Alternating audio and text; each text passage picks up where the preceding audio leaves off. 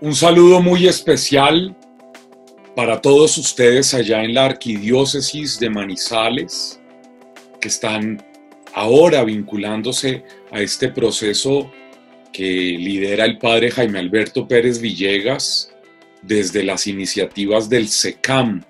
Para mí es un honor y es un regalo de Dios el poder compartir con ustedes este curso de formación en este itinerario, en este camino que hacemos, para mí es una bendición poder compartir con ustedes y poder tener esta oportunidad que nos da pues esta época de pandemia, de cuarentena, de confinamiento, en que se nos abren las posibilidades de la tecnología y de estos medios para poder interactuar. Le agradezco a las directivas del SECAM el haber contado conmigo para esta iniciativa, para este proyecto de formación dentro del marco de lo que ustedes hacen, de las estructuras, de las metodologías que como SECAM desarrollan con ustedes. Mi nombre es Francisco Javier Bermeo Herrera y soy nacido en la ciudad de Bogotá. Mis amigos me dicen Pacho, me conocen como Pacho. Eh, soy laico, casado desde hace 16 años, padre de familia de una negrita hermosa que tiene 12 años, que se llama Isabela. Eh, empecé mi experiencia de Dios el 22 de noviembre del año 87 y he dedicado eh, mi vida entera desde que tomé la decisión de renunciar a mi trabajo en el mes de agosto del año 96. Eh, renuncié a lo que estaba haciendo y tomé la decisión de dedicarme de tiempo completo a la evangelización, a la formación, a la predicación. He vivido mi vida dentro de el ámbito de la corriente espiritual de la renovación católica carismática. Estudié filosofía en la Universidad del Minuto de Dios en Bogotá, luego la teología en la Universidad Javeriana.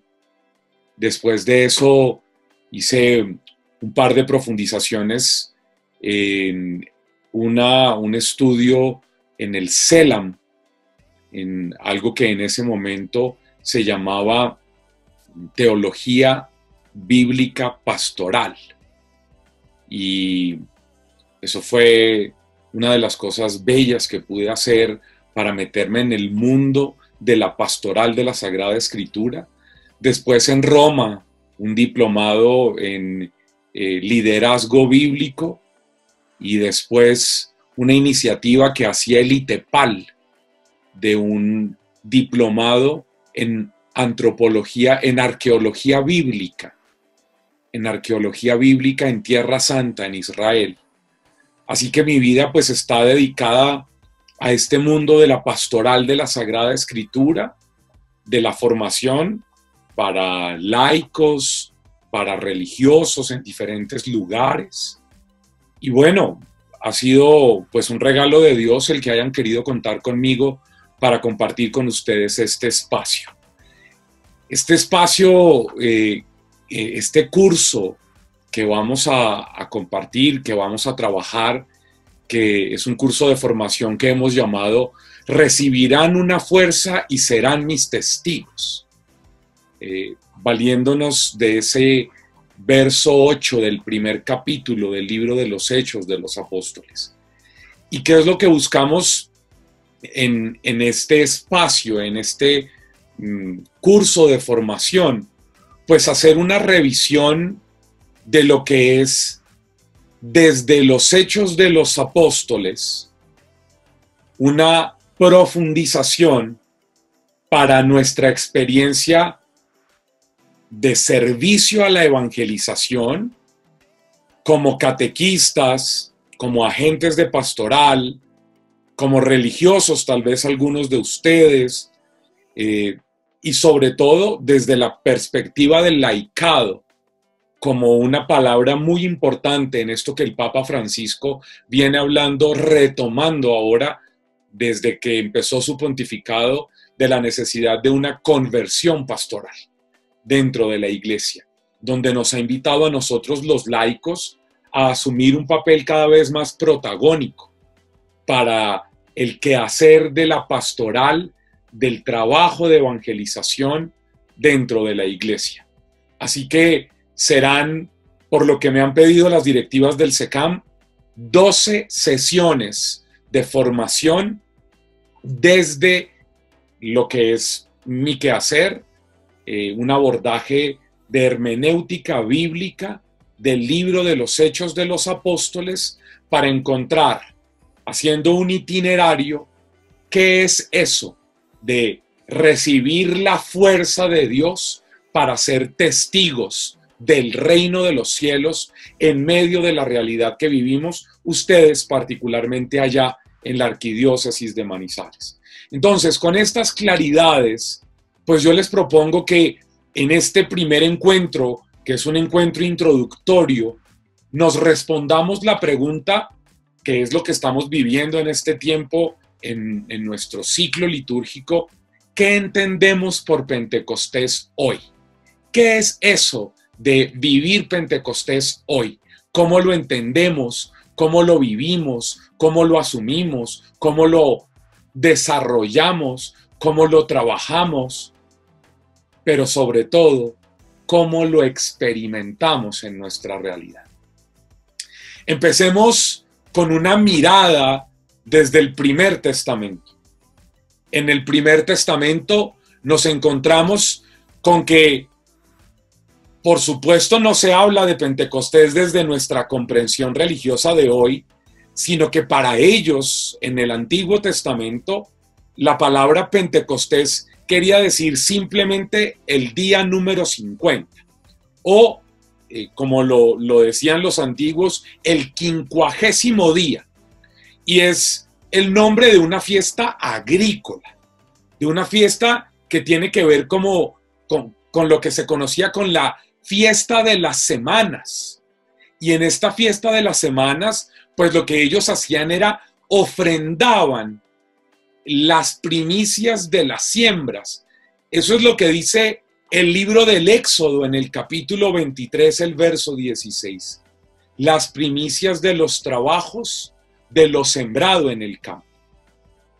Para ellos era la fiesta de las siete semanas que prolongaban la celebración de la gran fiesta de la Pascua.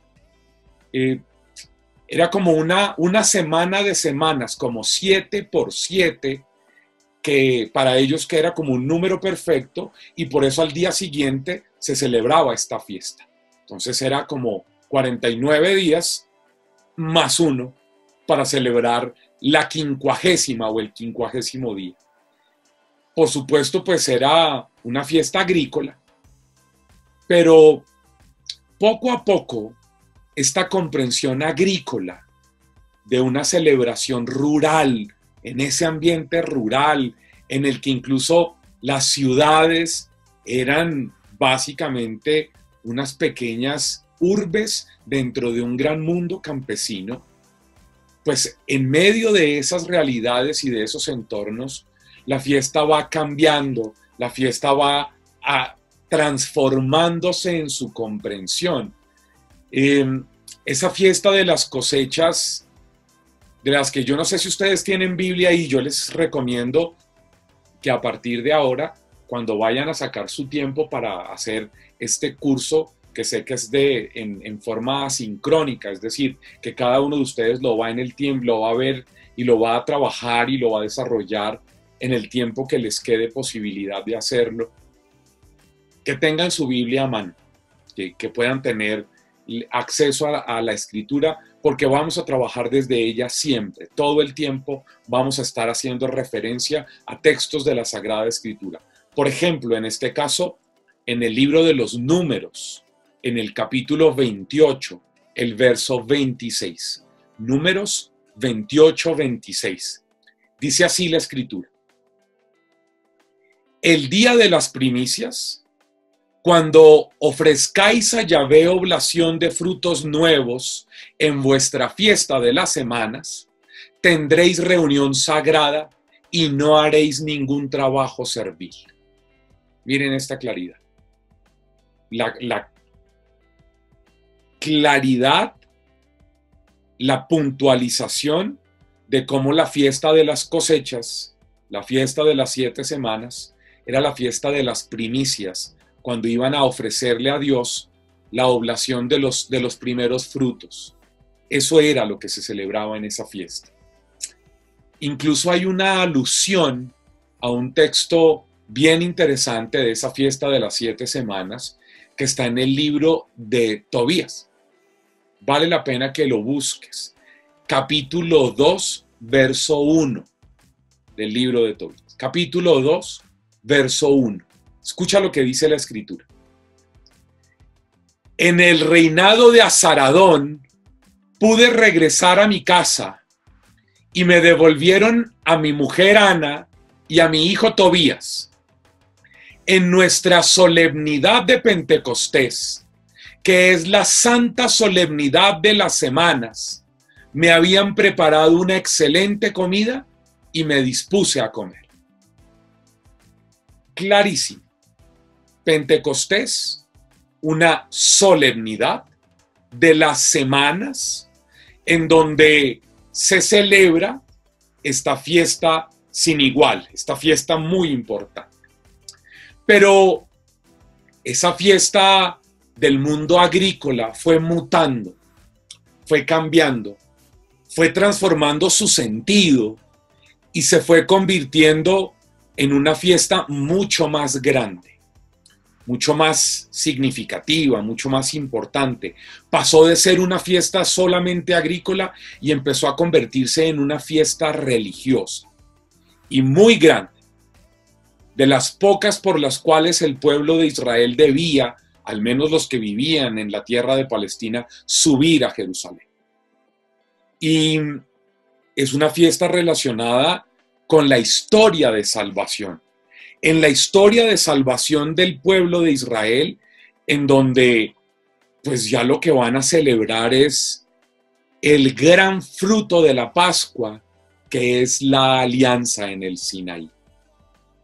Aquí es donde, donde cambia la dimensión, donde cambia el sentido y la hondura de la fiesta de Pentecostés porque ahora lo que van a celebrar es la fiesta de la alianza de Dios con el pueblo.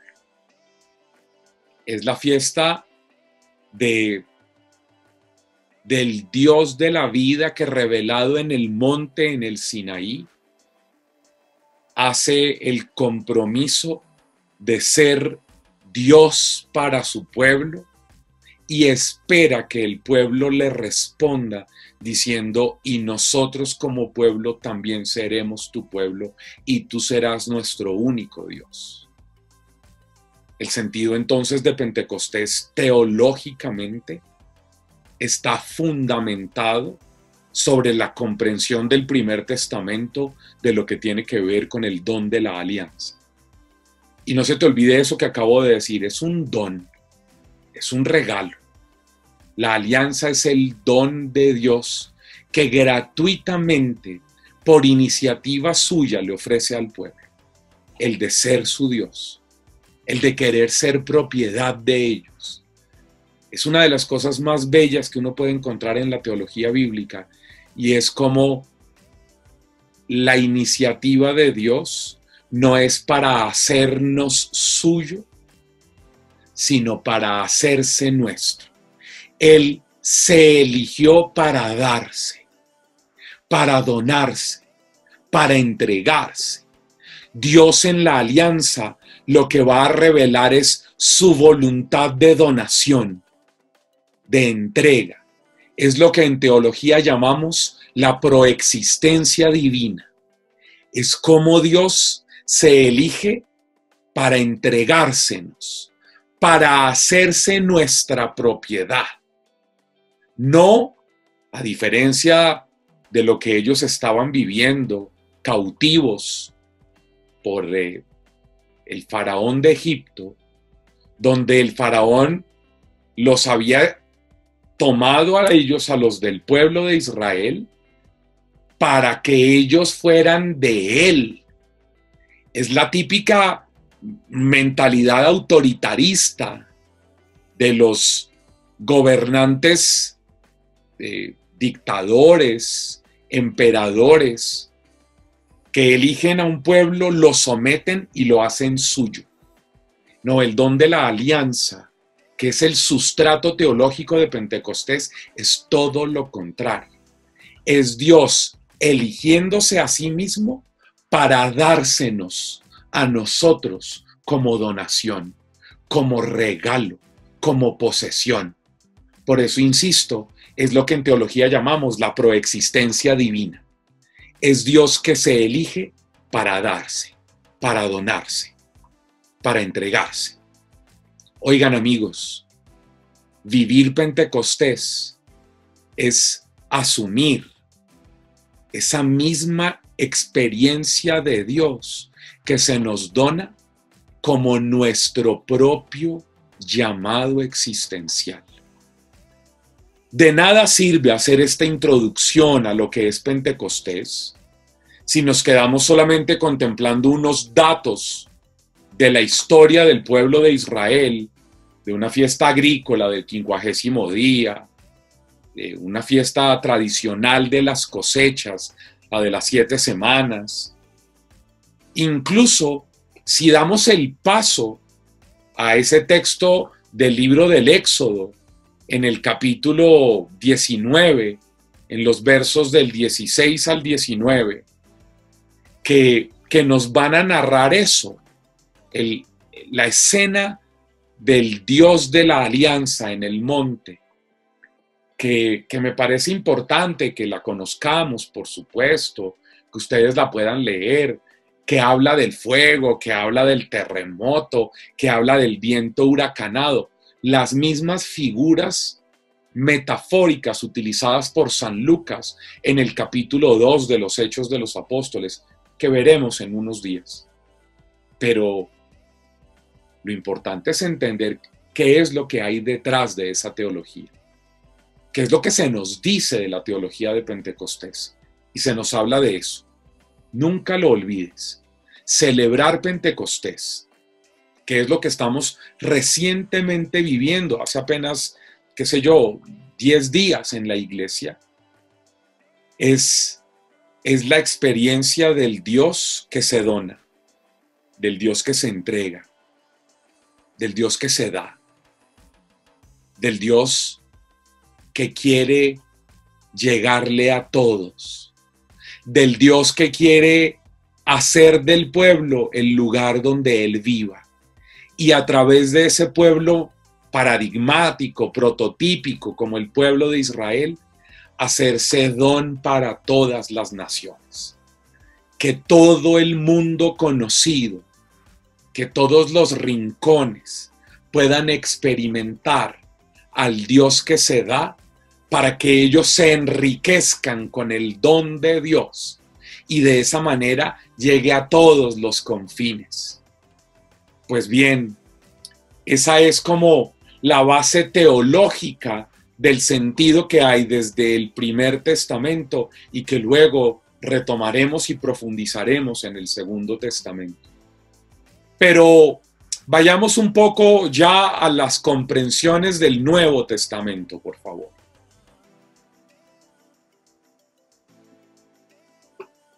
Y en el Nuevo Testamento, pues nos encontramos con una realidad. Ustedes saben, porque yo imagino que han recibido un montón de formación bíblica, seguramente impartida en sus parroquias allá en Manizales eh, o, en eh, el SECAM, bueno, que el Nuevo Testamento tiene una progresión en el desarrollo de los textos como fueron escritos. Ustedes saben que lo primero que se escribió del Nuevo Testamento fue las cartas paulinas y después de eso se escribe el Evangelio de Marcos, luego Mateo y Lucas, y para terminar eh, viene la teología de, lo que llamamos el cuarto Evangelio o de la comunidad del discípulo amado, o como, lo conocemos, y es la teología joánica. Pues bien, eh, ahí lo que nos encontramos es con comprensiones diferentes de la experiencia de Pentecostés. Por ejemplo, siendo la carta a los Efesios un escrito deutero-paulino, es decir, un escrito que ya hoy por hoy hay un consenso desde hace muchos años en que no fue escrito por el apóstol Pablo, sino por alguno de sus discípulos, nos encontramos allá en el texto de la carta a los Efesios, la única afirmación, digamos, como en lo que nosotros comprenderíamos como Pentecostés. Nos encontraremos con ese texto de la carta a los Efesios que dice que Jesús subiendo al cielo dio dones a los suyos. Como si la experiencia de Pentecostés estuviera asociada desde esa comprensión deuteropaulina a la ascensión. La ascensión sería para esa comprensión de ese discípulo de Pablo que escribe la carta a la comunidad de Éfeso, una manera de contarnos qué es Pentecostés. Es Jesús subiendo al cielo y dándole dones, dándole regalos a los suyos. Esa es una de las primeras acepciones, de las primeras comprensiones que podríamos tener, si quieren, de lo que es Pentecostés en el Nuevo Testamento. Después de eso, pues viene San Lucas, y San Lucas nos va a presentar dos maneras de comprender lo que es Pentecostés. Ustedes saben que Lucas escribe dos volúmenes de una misma obra el primer volumen, el Evangelio, y el segundo volumen, los Hechos de los Apóstoles. Y en esa comprensión, San Lucas nos presenta en el Evangelio,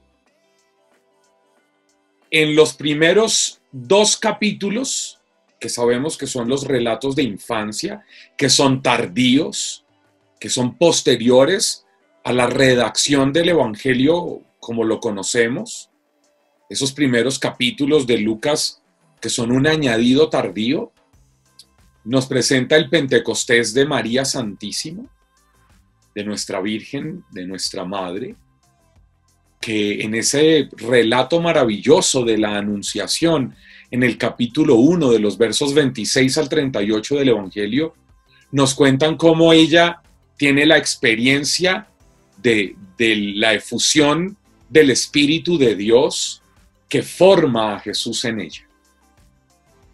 Que es como el primer gran Pentecostés que la teología sinóptica nos presenta.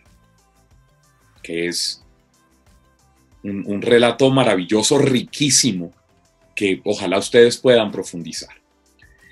Después de eso, a continuación de esa escena, nos presenta San Lucas lo que conocemos nosotros como la visitación de la Virgen María a su parienta Isabel, donde María viaja desde la ciudad de Nazaret, donde ella vivía, donde ella estaba, y con un relato también riquísimo, maravilloso, se nos cuentan que ella viaja hasta el sur del país, a la ciudad de Enkeren, allá en Enkeren, donde vivían Zacarías e Isabel. Y dice que el texto, no sé si se acuerdan, desde el verso 39 hasta el 45 del capítulo 1, nos cuentan que eh, Isabel tuvo una experiencia de Pentecostés, porque ella quedó llena del Espíritu Santo, llena de Espíritu Santo. Y al quedar llena de Espíritu Santo, nos cuentan que ella experimentó que dentro de su ser saltó de gozo Juan el Bautista, su hijo. Pero luego más adelante el día en que van a, circuncidar a Juan el Bautista y a ponerle nombre, Dicen que Zacarías también quedó lleno del Espíritu Santo y habló y cantó el Benedictus. Otro Pentecostés. Y luego nos van a contar en el siguiente capítulo, en el capítulo 3, eh, la narración del bautismo de Jesús en el Jordán. Y nos van a contar cómo Jesús tiene una experiencia de la paternidad de Dios que se revela en, su, en, esa metáfora hermosa de contarnos que el Espíritu Santo descendió sobre él en forma como de paloma, para contarnos el Pentecostés personal de Jesús, que que lo llena de esa novedosa comprensión de su relacionalidad de Dios como Padre, de Él como Hijo de Dios y de los otros como sus hermanos, para empezar ahí inauguralmente su ministerio público. Y es el Espíritu Santo, como lo dice el capítulo 3 y luego el capítulo 4 del Evangelio de Lucas, el que lo va a sostener durante el tiempo de ser tentado por el tentador en el desierto. Luego dice que Jesús, lleno del Espíritu Santo, volvió a su patria, a Galilea, y luego fue a Nazaret. Y luego cuando llega a Nazaret, es Jesús en la sinagoga de Nazaret, ¿recuerdas? En el capítulo 4, a partir del verso 18, cuando Jesús dice que desenrolló el texto de eh, la escritura el sábado allá en, su sinagoga y, le entregan el texto y ahí nos, nos funden dos tradiciones del profeta Isaías, en donde Jesús cita diciendo el Espíritu del Señor sobre mí, por cuanto me ha ungido, ¿te acuerdas? Para darle libertad a los cautivos, sacar de la, de la cárcel a los presos, darle vista a los ciegos, anunciar el año de gracia del Señor, con todo lo que la teología de eso nos puede contar. Es decir, capítulo 1, capítulo 2, capítulo 3, capítulo 4 del Evangelio de Lucas nos narran diferentes escenas de unas experiencias muy particulares de lo que podríamos entender como Pentecostés, es decir, como derramamiento del Espíritu Santo, como acción explícita, manifiesta del Espíritu Santo, dentro de esas primeras ideas de la comprensión sinóptica. Pero después, el mismo San Lucas nos va a narrar en los hechos de los apóstoles, que es lo que ustedes y yo vamos a abordar en este proceso, en este camino es a lo que nos vamos a enfrentar, es lo que vamos a compartir, es lo que vamos a desarrollar. Un itinerario dentro del libro de los Hechos de los Apóstoles para entender qué es Pentecostés. Porque en el libro de los Hechos de los Apóstoles hay diferentes narraciones de ese derramamiento, de ese bautismo en el Espíritu del que habla el propio autor el propio San Lucas en el capítulo 1, haciendo alusión a lo que había dicho en el capítulo 24 del Evangelio, que les había dicho que no se fueran de Jerusalén, le decía Jesús resucitado a sus discípulos, porque dentro de pocos días ustedes serán bautizados en Espíritu Santo. Pues el libro de los Hechos de los Apóstoles nos narra diferentes escenas de ese bautismo, de esa acción de sumergir. No olvides que bautizar significa sumergir, significa meter dentro.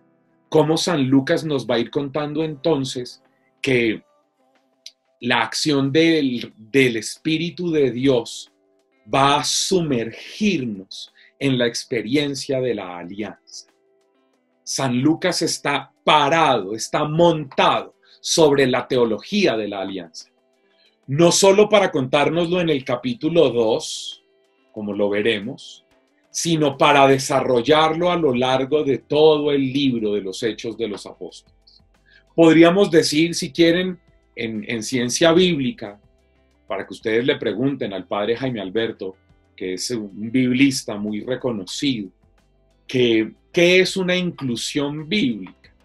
Porque en la ciencia bíblica la inclusión es un recurso literario que se utiliza normalmente para contar que algo que está narrado de diferentes maneras en el mismo texto es como un valor muy importante, como una idea fuerza que no se puede perder de vista. Lo hace con ideas o se hace con personajes para poder darles una gran contundencia a la validez de ese personaje o de esa idea dentro de una misma narración. Les voy a poner un ejemplo. Mira, en el Evangelio de Juan aparece solo dos veces la Virgen María. La primera vez aparece en las bodas de Caná, ese texto que conocemos con ese nombre. Capítulo 2, versos del 1 al 12 del Evangelio de Juan. Es la primera vez que aparece María. Y luego desaparece. Y vuelve a aparecer acá, al final, en el capítulo 19, los versos 25 al 27, en el Gólgota, en el Calvario. María solo aparece al comienzo en el capítulo 2 en Caná y luego aquí en el capítulo 19. Y no aparece nunca más. Pues la pregunta que uno se tendría que hacer es, ¿será que la Santísima Virgen María solo estuvo al comienzo y al final de la vida de Jesús y el resto de la vida de Jesús se quedó marginada en otro lugar? No. Pero lo que hace el autor del cuarto evangelio es ponerla al comienzo y al final y con eso hacer una inclusión para contarnos que estuvo siempre, para contarnos que su presencia fue transversal, estuvo permanentemente. Eso para hacerte un ejemplo de lo que te digo que es una inclusión. Ahora bien, en los hechos de los apóstoles, la inclusión es Pentecostés. Yo afirmo que el libro de los hechos de los apóstoles es una narración de Pentecostés de 28 capítulos. Es San Lucas contándonos que el don de la alianza sobre lo que está basada la teología de Pentecostés se manifiesta de múltiples maneras a lo largo de todo el texto sagrado que conocemos como los hechos de los apóstoles. Así que para mí esta es como la gran afirmación, razón por la cual vamos nosotros a estudiar, a profundizar de alguna manera lo que es el libro de los hechos de los apóstoles como una descripción multiforme de Pentecostés para que tú y yo nos sintamos exhortados, animados, antojados de poder vivir la experiencia de Pentecostés en nuestra vida diaria de aquí en adelante. Que podamos vivir, como yo le digo siempre a la gente, de Pentecostés en Pentecostés. Y que nosotros, los catequistas, los evangelizadores, los misioneros, los religiosos, la gente que presta algún servicio como agente de pastoral diga, claro, es que Pentecostés no es un día de los 365 del año, no es una solemnidad que pasa 50 eh, días después de la celebración de la fiesta de la Pascua y que la vuelvo a recordar el año siguiente, sino que nosotros podamos comprender que si esto tiene que ver con el don de la alianza, pues estamos llamados a vivir permanentemente la renovación de la fidelidad a la alianza y permanentemente experimentando el don de la alianza como iniciativa de Dios para nuestras vidas. Yo por eso quisiera que pudiéramos entender, y con esto termino, que mm, la experiencia de Pentecostés es lo que tendríamos que entender en teología desde la cristología porque ustedes saben que todas las fiestas litúrgicas en la iglesia deben ser leídas desde la Cristología. Si es así, Pentecostés, que no es un momento puntual, que no es algo que sucedió 50 días después de la Pascua. Como ya lo hemos dicho al hablar de esa idea de la carta a los Efesios, de las diferentes descripciones de bautismo en el Espíritu Santo, en el Evangelio de Lucas, como les cuento que está narrada de múltiples maneras en el libro de los Hechos de los Apóstoles. O por ejemplo en la teología de Juan, que es la teología más tardía, la más elaborada de todo el Nuevo Testamento, de toda la escritura, por supuesto. En esta teología del Evangelio de Juan se nos narran entre el capítulo 19 y el capítulo 20 cuatro narraciones de Pentecostés. Cuatro. Cuatro vivencias de Pentecostés en el Evangelio de Juan. En el capítulo 19, este que le cité, donde está la Virgen María, que en el verso 30 dice el autor sagrado que Jesús, después de haber probado el vinagre que le pusieron con en una esponja, en una rama de hisopo, dice todo está cumplido en tus manos. Y dice que inclinando la cabeza entregó el Espíritu. Miren esta belleza. Para San Juan, el autor del cuarto Evangelio, inclinando la cabeza en la cruz, Jesús entregó el Espíritu. Luego, un par de versos después, nos cuentan que un soldado de las legiones romanas apostado en Jerusalén, con su lanza atravesó a Jesús, le perforó el costado y al instante brotaron sangre y agua de su costado. Y desde el siglo segundo los primeros padres de la iglesia han afirmado que como el mismo Jesús lo dice en el capítulo 7, del corazón, de la interioridad del ser de aquel que crea, brotarán ríos de agua viva hablando del Espíritu Santo. Así que para San Juan la gráfica que hace cuando el soldado impacta, atraviesa a Jesús con su lanza y emana agua y sangre del costado de Jesús, es la efusión del Espíritu Santo. Segunda narración de Pentecostés. Primero, inclinando la cabeza, entregó el Espíritu. Segundo, desde su interioridad, desde su intimidad, Jesús emana el manantial de la gracia del Espíritu. Tercero, en el capítulo 10, en el capítulo 20, a partir del verso 19 y hasta el 23, nos cuentan que los discípulos estaban encerrados en ese aposento alto de Jerusalén con las puertas cerradas por miedo a los judíos y Jesús se hace presente, les desea la paz, les muestra las manos y el costado, les desea la paz nuevamente, ellos se alegran de ver al Señor y Jesús les dice, como el Padre me envió, también yo los envío. Y les dice que, dice el texto, y sopló sobre ellos y les dijo, reciban el Espíritu Santo. A quienes les perdonen los pecados les quedan perdonados y a quienes no se los perdonen les quedan retenidos. Y eso está dirigido a los discípulos, no a los apóstoles. El texto dice que eran los discípulos. ¿Qué significa eso?